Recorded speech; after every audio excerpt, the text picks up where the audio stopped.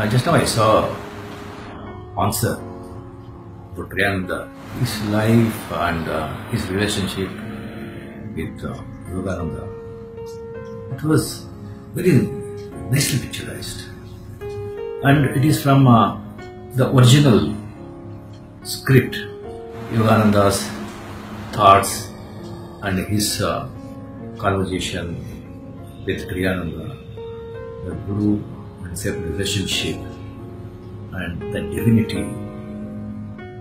Really, I mean, it is uh, the way they picturized it. I can see the heart and soul in it, no artificiality, and uh, it really moves. Definitely for the, the devotees and who wants to know what is the real spirituality, they should see this documentary. They really that will inspire them and definitely they get blessings of Yogananda and Kriyananda. It will definitely answer, they get real answer. It is an experience.